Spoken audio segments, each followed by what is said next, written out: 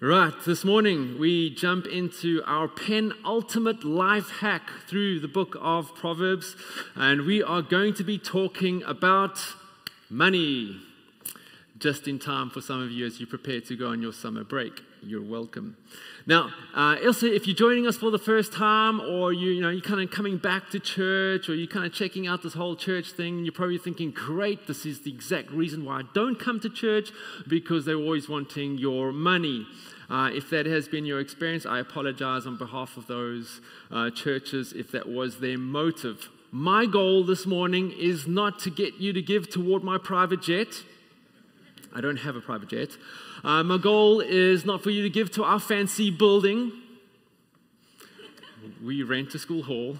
Uh, my goal, as has been the goal of the entire series, is that we would live God honoring lives. And that includes how we manage our finances as well. So, when it comes though to money, we as Christians included, we, we kind of do some strange things. I remember listening to Mark Driscoll a couple of years ago speaking about six money personalities. I like to call them six money disorders. The various ways that money affects us, or, or various ways we allow money to affect us. And the first one is the hoarder, or the, the, the greedy person. This person says, Money gives me security. In other words, the more I have, the more secure I feel. The problem this person faces is when will enough be enough? Or what amount will make him or her feel secure? I mean, which comes first? The feeling of security based on some sort of amount in the bank account, or attaining some sort of magical amount that's going to lead to a feeling of safety and security? The problem, no matter which way you look at it, is, is that it's always going to be a moving target.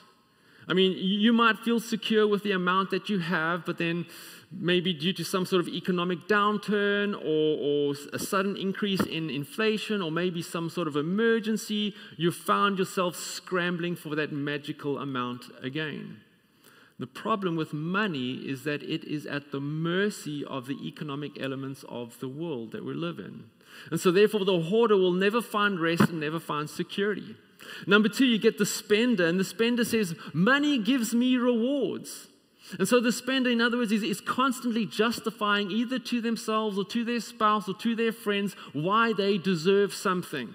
Like, I worked hard, I deserve this. Or I've been through such a tough time of late, work is stressing me out, the kids are driving me up the wall, and summer camp is a long way away, and so I deserve some R&R. I need some retail therapy, or whatever it might be. Unfortunately, you have to keep spending because the reward or the comfort is short lived. Then you get the avoider. And the avoider says, Money and bills stress me out. And so this type of person avoids taking responsibility for their decisions, particularly around their finances. And so either they spend money left, right, and center without considering the consequences, or they procrastinate to such an extent that they're always late in paying their bills. The school is constantly hounding them for their school fees, or CUC is threatening to shut off their power. And they have no idea what's happening in their bank account, and the word budget is a swear word to them. Then, number four, you get the hater. And the hater thinks money is evil and dangerous. And so this person may feel like they're, they're holding to strong ethical convictions, but it's those closest to them who are suffering. And you, you may have your convictions about money, it's bad and it's evil, and paying taxes to the man. You're just part of this institution and you're just giving all your money to it. But at the end of the day, you still need to put food on your table and, and clothing and, and a roof over your family's head. Money in and of itself is not, is not evil. It's the love of money that is evil, according to 1 Timothy 6.10. Then you get the manipulator. And the manip- manipulator believes money buys me influence and control. This is where someone will happily lend money, but then use it to control or have influence in the relationship or organization. You know, you hear of these horror stories of someone donating a sizable amount to a non-profit organization or a church only to use it as a way of gaining control over the direction of that organization or, or the hiring and the firing of certain people. And then lastly, you get the show off. And the show off believes money gives me status through possessions. The more I have, the more highly people will think of me. Unfortunately, all of the money of all the money disorders, this one can easily be seen for what it truly is, and that is insecurity. That this person doesn't have a doesn't have root within themselves, and they have to find it in other things. And I'm also willing to bet that many of these money disorders were involved in all of the economic recessions that we've experienced throughout world history. Steve Siranovic uh, wrote a paper entitled Greed, Capitalism, and, and the Financial Crisis regarding to the, uh, the 2008 financial crisis. And he says this is in his introduction. He said, Greed by the managers of financial institutions led to easy loans with little to no payment, down payments. Greed by homeowners led to the purchases of houses they couldn't afford. Greed on Wall Street led to the creation of clever new financial instruments like mortgage backed securities and credit default swaps. Greed by CEOs led to corporate extravagances and ridiculously high executive compensation packages. Greed by consumers led to excessive use of credit cards to buy things now rather than wait till they earn the money to pay for it. And so he speaks a lot about greed here, but I see evidence of the manipulator, the spender, the avoider, the show off. And it all culminated in one, of, in, in, in one of the greatest financial recessions in history. And if we're honest with ourselves, we as believers, many of us fall into these disorders or these categories. Maybe we are different ones at different times, depending on the situations and the circumstances in our lives. So the question then is how do we glorify God with our money? How do we glorify God with our finances? Is there a life hack to manage our money for the glory of God? One that will help us overcome these disorders that we can so easily fall into, uh, that we can so easily fall into these traps. And I believe there is, and it can be summed up by one word, and that is stewardship. The life hack that is going to help us glorify God with our money is by being good stewards of it. It's a good old fashioned word that no one really uses anymore. Maybe that's why we find ourselves in financial difficulty. But today we, we use the word manager maybe instead. But just to get a little nerdy on you, the Greek word oikonomia literally means house law. In other words, what is the law governing a particular house or a particular enterprise? And then we further interpreted that word as economics and stewardship. So economics and stewardship go hand in hand. In other words, a steward or a manager is responsible for the economy of a household or institution, applying the house law around that particular institution. And this concept of stewardship was given to us right from the very beginning in creation. God creates man and woman in his image and then gives us the stewardship or the management over his economy or over his house, which just so happens to be everything that we can see and can't see. Genesis 1:28 says this, and God said to them, Adam and Eve, be fruitful and multiply and fill the earth. And here we go and subdue it and have dominion over the fish of the sea and over the birds of the heavens and over every living thing that moves on the earth. So clearly, everything belongs to God, but He gives us the role of dominion or authority to manage it. And so we are to take what He has made and we're to look after it and be productive and industrious with it. I love how the late R.C. Sproul explains it. He says it like this God installed Adam and Eve as his vice regents, that is, those who were to rule in his stead over all creation. He says it's not that God granted independent ownership of the planet to humankind. No, it remains his possession they were not to exercise authority like a reckless tyrant who has carte blanche to do whatever, to do anything he wants, for God didn't make Adam and Eve owners of the earth. Here we go. He made them, there's our word, stewards of the earth, who were to act in his name and for his glory.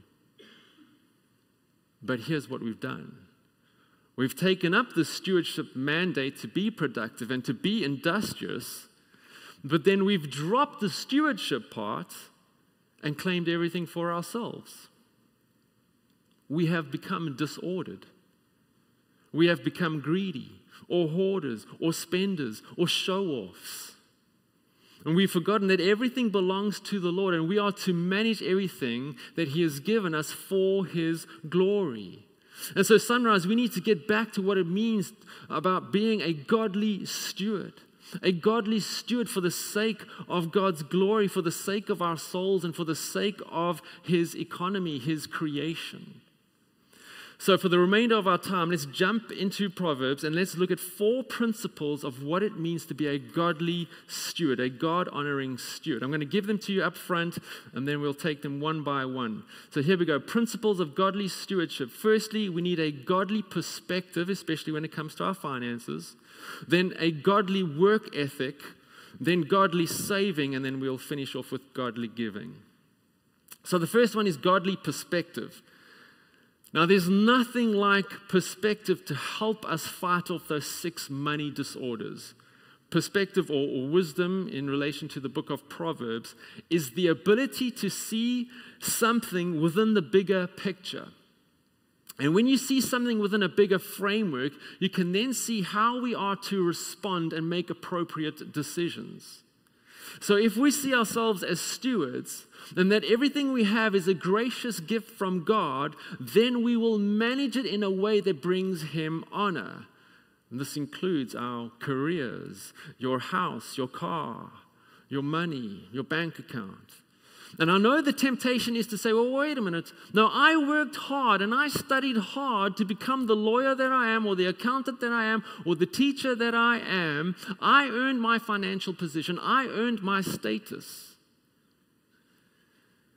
But the Bible tells us that all our gifts and all our abilities are gracious gifts from God. James 1:17, Romans 12, 3 to 8. So we are even to steward our abilities and our talents and our intellect for his glory. Because here's the thing, Sunrise, when we see that everything is from him, then we will manage it for him.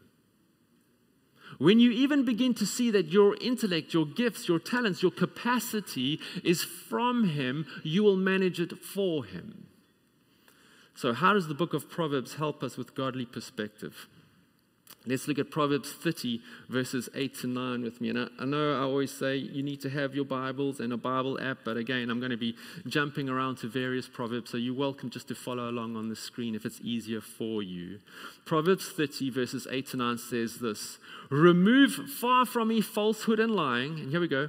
Give me neither poverty nor riches. Feed me with the food that is needful for me lest I be full and deny you and say, well, Who's the Lord? Or lest I be poor and steal and profane the name of my God. Do you see it? To have a godly perspective, God needs to remain at the center of our lives. And so the writer is asking the Lord to give just what he needs so that God remains front and center in his life. If I get too much, I might forget about you. I won't depend on you. I won't need to because I will be satisfied with what my, with what my money can buy. I will live a, a hedonistic life of pleasure seeking with whatever my money can buy. But then on the flip side, don't let me get too poor, where I will revert to a life of crime and thereby dishonor your name as well. So both lifestyles have lost sight of God. And when you lose sight of God, you lose sight of your perspective. And when you lose sight of your perspective, you lose sight of the fact that you are a steward of all that God has graciously given you. So, how do we keep that perspective? He tells us right at the end of verse 8, you see it? Feed me with food that is needful for me. It's such a great question that becomes a lens of perspective for us. Lord, what is needful for me? What is needful for my family? What is needful for my retirement?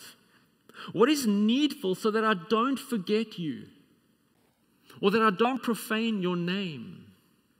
And the answer to that question will be different for each of us. And so we're not to compare and we're not to covet, but we are to graciously accept whatever the Lord gives us because the greatest gift is the Lord Himself. Don't give me more and don't give me less. That's going to distract me from you.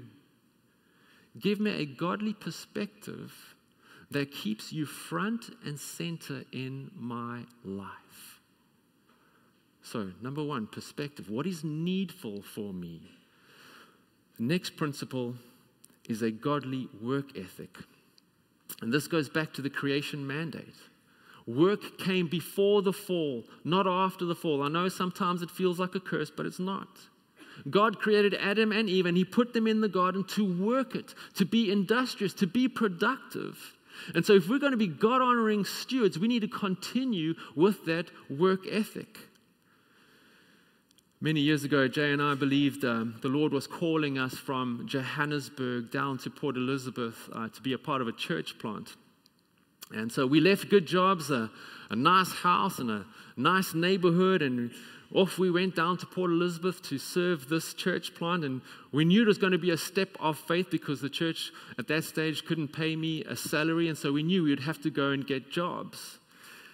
And Jay, being a qualified teacher, she found a, a job pretty quickly, um, not working for a prestigious school, but a, a non profit school where uh, they provided education for children who were sick and, in some cases, terminally ill. And so, a very tough job, but a very rewarding job. And as you can imagine, also not the greatest pay. But I, on the other hand, I couldn't find a job. I sent my CV to all four corners of Port Elizabeth. I was phoning people, I was phoning up contacts. I just could not get a job.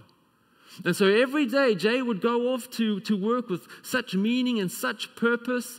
And at the same time, friends that I had been to school with, they were crushing it in their careers. One guy had become a surgeon and he was saving people's lives. My other friend, he became this journalist for this outdoor adventure magazine. And so he would get to drive the latest four wheel drives and SUVs all around Africa and stay in these amazing safari lodges and climb mountains, run away from lions, and then tell everybody in a fancy magazine.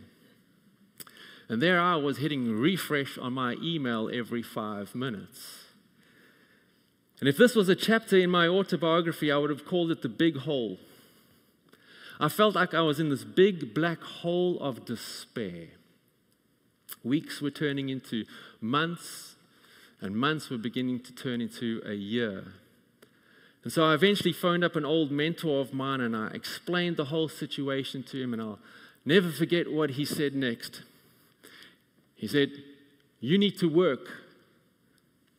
I was like, I, I, know I need to work. I've just explained. It took 10 minutes to explain to you I can't find a job. I've, I've done everything that I can.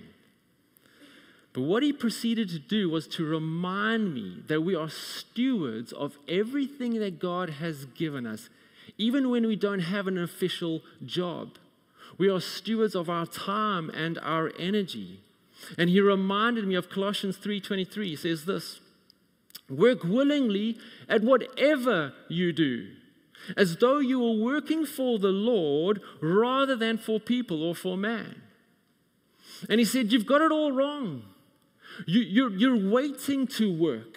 You're waiting to go work for a boss, for a man. No, you work for the Lord. You are a steward that belongs to the Lord. You work for Him now." And so, me being me, being a little bit slow, I said, Well, what do you mean? And he said, Don't sleep in. Set your alarm. Get up. Get out of your PJs. Make your bed to the glory of the Lord. Make sure you can bounce a coin off it. Spend time with the Lord in your devotion. Seek Him with all of your heart. He said, You're a steward of the, of the car God has given you. So make sure it's in good running order. Wash your car. You're a steward of the place that you're staying in. So sweep the driveway, fix what needs to be fixed. Equip yourself for when the church can employ you full time. Read your Bible cover to cover, read books, practice your preaching. What he was saying is have a work ethic not based on some official job or the required amount of hours or whether your boss is strict or not. You are to have a godly work ethic because you are a steward of the Lord's. And I'd love to say that after a month of washing my car and making my bed military style, that, you know, I miraculously got this job or that the church began to pay me. No. That year turned into another year. But man, did we see the provision of the Lord in the most miraculous ways. And I learned the valuable lesson of being a godly steward. It means having a godly work ethic because we ultimately work for the Lord. Now, the book of Proverbs also gives us an example of what it means to have a godly work ethic. Have a look at this Proverbs 6, verses 6 to 11. It says, Go to the ant, O sluggard, lazy person, consider her ways and be wise without having any chief. So, no official job, no official boss, without having any chief officer or ruler, no one micromanaging her, no paycheck motivating her. What does she do? She prepares her bread in summer and gathers her food in harvest. He goes on, he says, How long will you lie there, O sluggard, O lazy person? Set your alarm, get out of bed, put your, get, out, get out of your PJs. When will you arise from your sleep? He says, A little sleep, a little slumber, a little folding of the hands to rest. And poverty will come upon you like a robber, and want or need like an armed man. So, this is a contrast between a good work ethic and a lazy person or a procrastinator. And the ant is an example of a good work ethic. Now, do they really make bread? No they come and steal your breadcrumbs. This is an example of an anthropomorphism. Say that this week, you'll come across very clever. That's what we do. We, give human like attributes to non human entities. But the point of this proverb is we must be aware of the seasons and work hard in those various seasons because there will be times when things slow down. Make your bread in the summer. Make sure you get your harvest in because winter is coming. Work hard now in light of those lean seasons, or work hard now so that you can have rest. But the sluggard or the procrastinator, he's got the wrong way around. He's resting now, but unfortunately, he will miss his chance to bring in his harvest, make his bread, and as a result, he's going to have a very, very long, arduous, tough winter ahead he will experience poverty. He will experience great need. See, a good work ethic understands the rhythms of life. A good work ethic also understands, uh, also has a good rest ethic. God worked for six days, creating everything we can see and can't see, and then rested on the seventh. He didn't need to. He's God. He's all powerful all the time. It's an example for us because we created beings, and because we created beings, we're finite and we need rest. And so we're to follow his example. We're to work well so that we can then rest well. But let's make sure we get, we get the order and the ratio correct. So, to manage our money to the glory of the Lord, we are to have a godly perspective on it. And secondly, we are to work well for it, for it which then leads thirdly to point number three godly saving. Now, I hate to pick on our American brothers and sisters, but what I love about America is that they don't mind gathering data about themselves and then pasting it all over the World Wide Web for us to have a look at it. Uh, the rest of us are far too prideful to reveal things about our savings and our investment strategies. But according to a Go Banking Rates study, 69% of Americans have less than $1,000 in savings. This was, a, this was published in 2020, and if memory serves me correct, that was not a great year to have a poor savings account. Uh, it gets worse 45% of Americans say they have no savings. So if your kid comes home from school with a broken tooth, the best advice you can give them is chew on the other side and don't smile. In the same article, they suggest you have a savings account or an emergency fund where you can cover at least three to six months of essential living expenses. like your rent, your weekly groceries, your utility bills. And it'll, it'll also help with emergencies like a broken tooth or a broken down car. But is this biblical? Well, let's see what the book of Proverbs says. Proverbs 21:20. Precious treasure and oil are in a wise man's dwelling, but a foolish man devours it. So, a wise person or a wise steward ensures they have a percentage of essential resources stowed away. And it's so important that we do because, according, according to Investopedia.com, recessions are an inevitable and necessary part of the economic cycle. History has shown that when it comes to the financial markets, what goes down eventually comes back up, although the road to recovery may be a bumpy one. But if we're going to be good stewards of our finances, then that road to recovery doesn't have to be as bumpy as it could be. The problem, though, is if we are foolish, according to this proverb.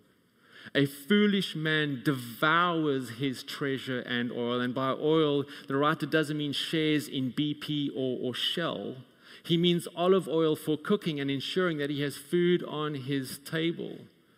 The foolish person has no self control and spends all of his or her money and eats all of the food. They're like the spender, they're like the avoider that we spoke about in the beginning.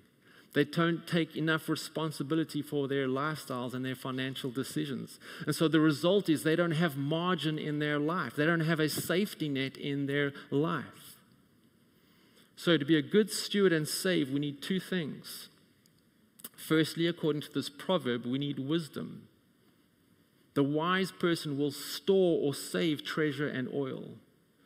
And the wise person is going to save and ensure they have margin uh, in their lives, a safety net. And so, where do we get this wisdom from? Well, it's been the, the unifying thread throughout the whole book of Proverbs that the fear of the Lord is the beginning of wisdom. It goes back to the first point of putting God front and center in our lives. Secondly, then, the wise thing to do is to budget.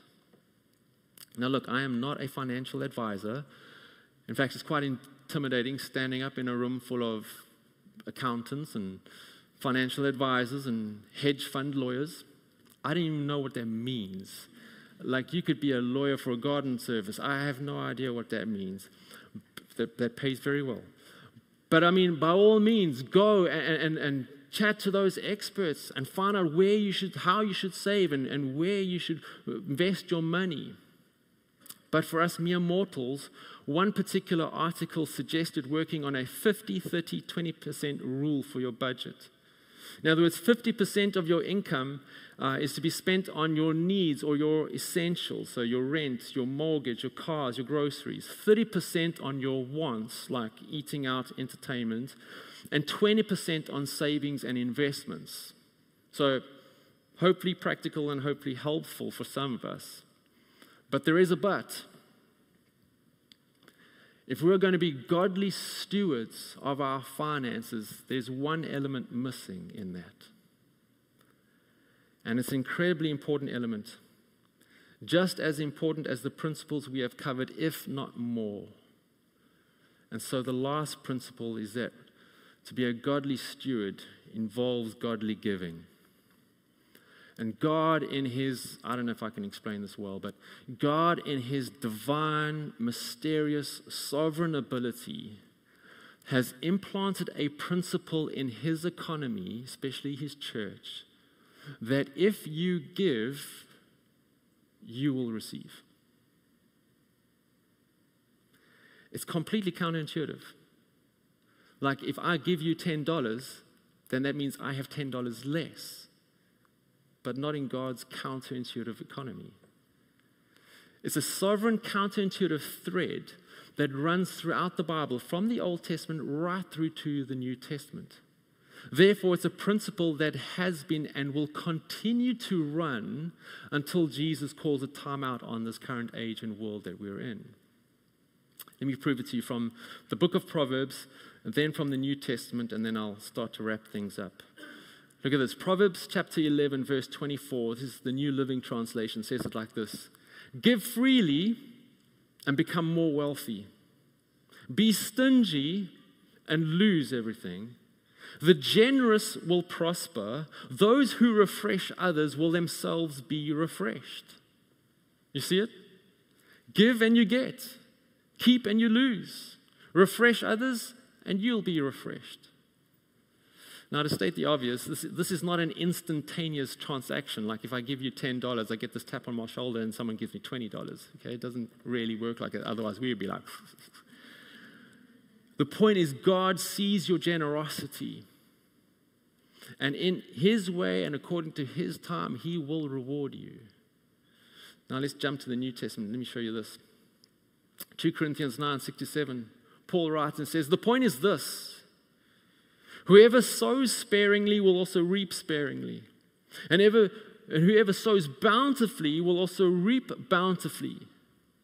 Then he says this, verse 7 Each one must give, but here's how as he has decided in his heart, not reluctantly or under compulsion, for God loves a cheerful giver. So, why do we give? Firstly, because we're stewards of whatever God has given us, but secondly, God loves a cheerful giver, as some of us pointed out earlier. But giving can be so challenging and even fearful at times. We have this fear that, well, if I, if I give, will I have enough for myself? If I give, will I have enough for the end of the month when, when I have to pay all the bills? So, cheerfulness that will trump the fear and the anxiety around giving comes from a faith in the promise that if you sow bountifully, you'll reap bountifully. So, the all important question then is well, where do I get that faith from? Faith to believe in that promise. Faith to take, to take Jesus at his word and, and experience the joy and the, and the cheerfulness in giving. Well, we firstly have to receive to get that faith, we have to receive the greatest act of giving. Look at this 2 Corinthians 8 9. Paul again writes, he says, For you know the grace of our Lord Jesus Christ, that though he was rich, yet for your sake he became poor, so that you by his poverty might become rich. So, what's he, what's he, what's he talking about? Jesus left glory. He left the eternal riches of glory where he had been for all eternity, enjoying his triune relationship with the Father and the Spirit. And he comes to his fallen creation, those who have rebelled against him. And he takes on human flesh. And not only that, but Paul tells us in Philippians 2 7 that he became a servant, literally from riches to rags. And the ultimate way he served us was by taking our sin upon himself on the cross so that we might experience the riches that he had known for all eternity. So we go from rags to riches. We are forgiven and we are reconciled to our Heavenly Father. We become spiritually rich, spiritually transformed, spiritually regenerated. And it's only out of that spiritual richness that we, we can now begin to put away those six money disorders that we so easily fall into. And then we can take the step of faith and we can give.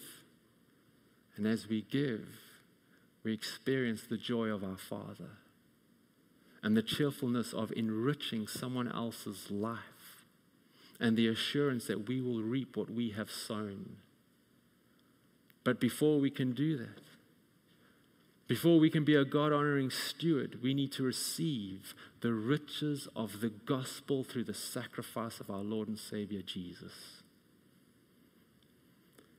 Once we have that, then we can get really practical in terms of being a God honoring steward with our finances. And so let me finish off with four practical points of application. Number one, realize you cannot take your finances with you. You're simply a steward of them while you are here. So the question you have to ask yourself this morning is what kind of steward will you be? Number two, develop a God honoring budget. What budget is going to bring glory to God? And then track your spending and see if you're staying within your budget. To get really practical, automate your savings and giving. Use technology to undermine the temptation to just simply spend or to be greedy. Set up automatic transfers to a savings account or some sort of investment, and automated giving to ensure consistency. And here's where I want to get a little bit awkward for a moment. If you look around this room and you're thinking, yes, this is, this is my faith family, this is where the Lord has put me, then if you're not contributing, would you consider to contribute towards this faith family? Would you consider to partner with us so that we can continue to do what we're doing? That we can pay the rent, pay the rent here and pay the rent for our two office units, to put on amazing ministries like, like Flourish and our men's events, and Kids Fest and Summer Camp coming up. So we can put, uh, give our staff salaries. So we can bless people so that we as a church ourselves can give to others, others in need on this island. And so our appeal to you is if you're not partnering with us financially, please would you consider to do that? We have a donation box at the back if you want to put some cash in there. But my, my appeal is grab one of those little cards at the back there that have our financial details on it. And would you prayerfully come before your Heavenly Father. Say, I want to be a cheerful giver. What amount will bring you joy and me joy? And then set it up in a way that it, just, it automatically goes through. And then lastly, review regularly. Review regularly. Sit down in prayer and review how you are doing as a God honoring steward. How's your heart? Have one of those six money disorders crept in? Am I showing off? Am I avoiding? Am I hoarding? Am I giving cheerfully? What's going on in here and, and what's happened and why has it happened? And is the budget up to date with rising costs and rising needs and your rising needs and the church's rising needs? Because here's the thing, Sunrise, and I'm done. Everything is from Him. And when we realize that, we will manage it for Him.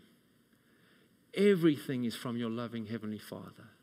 So let's manage it for Him, for His glory, and for our ultimate good. Let's pray. I'm going to ask the worship team to join me up on stage. But I'd like to pray for you in this moment.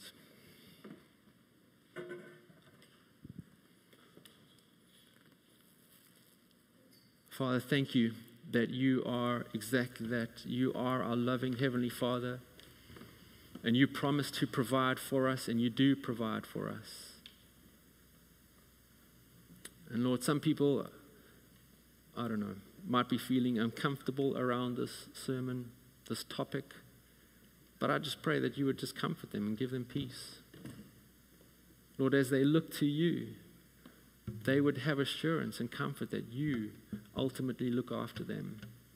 And that they would look to you and they would thank you for all of the resources that you've blessed them with.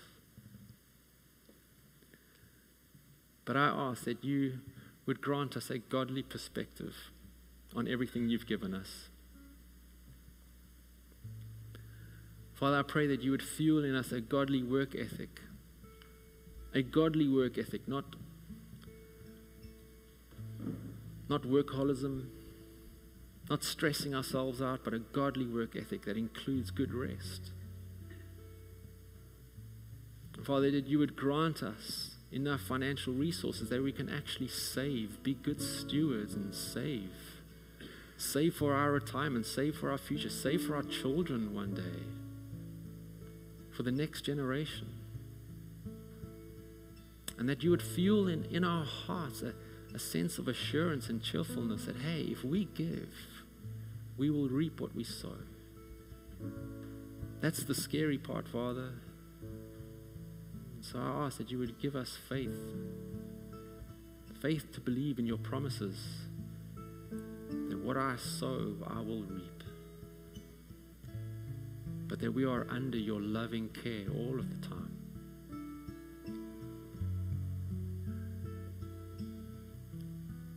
So I'm asking you, by your Spirit, would you work in us a faithfulness to be a godly steward for your glory, for our good? Please, Jesus. In your name, amen. I think a good way to